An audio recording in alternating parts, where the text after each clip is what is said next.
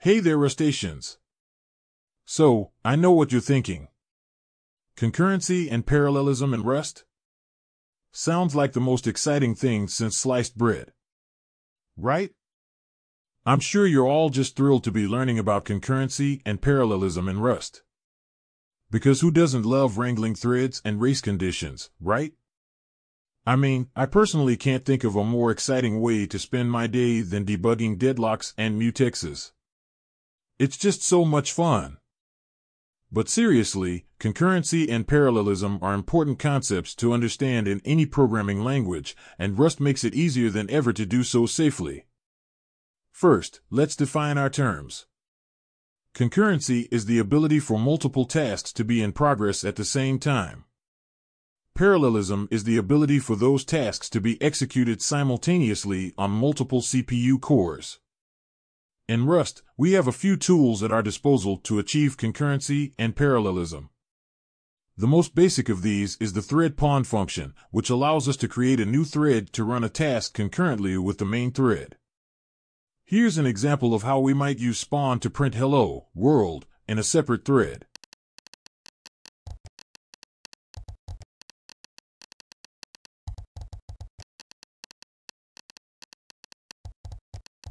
Pretty simple, right? But what if we want to execute tasks in parallel on multiple CPU cores? That's where Rust's Rayon Crate comes in. Rayon is a data parallelism library that makes it easy to parallelize iterative algorithms. Here's an example of how we can use it to sum the elements of a large vector in parallel.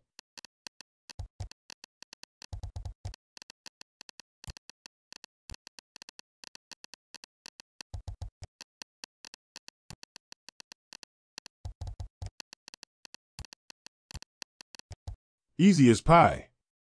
And with Rust's ownership and borrowing rules, you can be sure that your concurrent and parallel code is safe from data races and other common pitfalls. But wait, there's more. In addition to Thread, Spawn, and Rayon, Rust also has several other tools for achieving concurrency and parallelism. For example, the MPSC module provides multiple producer, single consumer channels for sending messages between threads. Here's an example of how we might use an MPSC channel to send a string from a worker thread back to the main thread.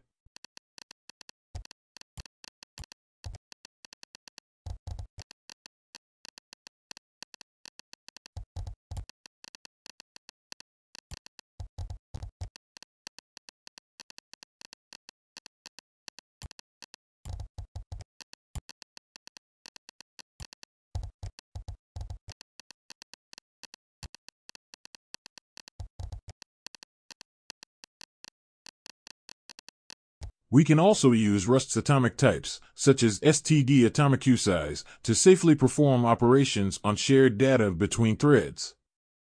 And for even more fine-grained control over concurrency, we can use Rust's low-level synchronization primitives, such as std mutex and std rw lock, to protect shared data with locks.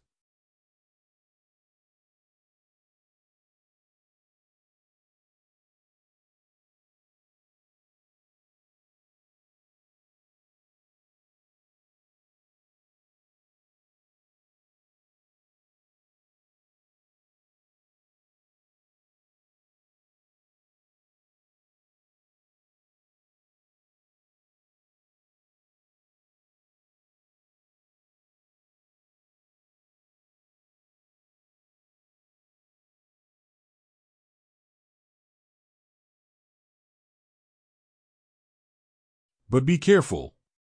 As with any concurrent code, it's important to consider the potential for deadlocks and race conditions, and to design your code with these potential pitfalls in mind. So we've talked about how to create and spawn threads, and how to use channels to communicate between threads. But what if we want to communicate more complex data structures, or wait for a thread to complete before continuing? For these cases, Rust provides several options. One option is to use the std Arc type to share data between threads.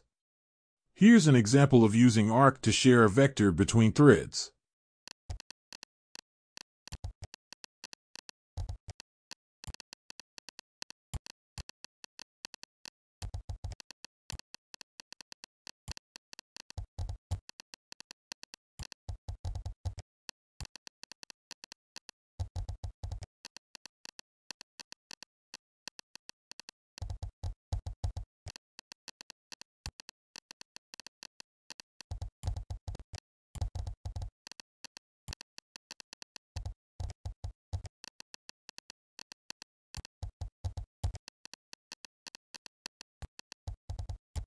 Arc allows multiple threads to have shared access to the same data and will automatically handle the synchronization of access to that data. Finally, if we want to wait for a thread to complete before continuing, we can use Rust's thread join handle type, which represents a handle to a thread that can be used to wait for the thread to complete. Here's an example of using join to wait for a thread to complete before continuing.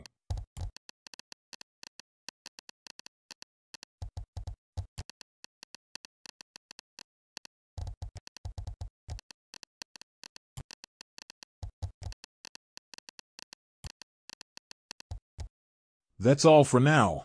Thank you for watching.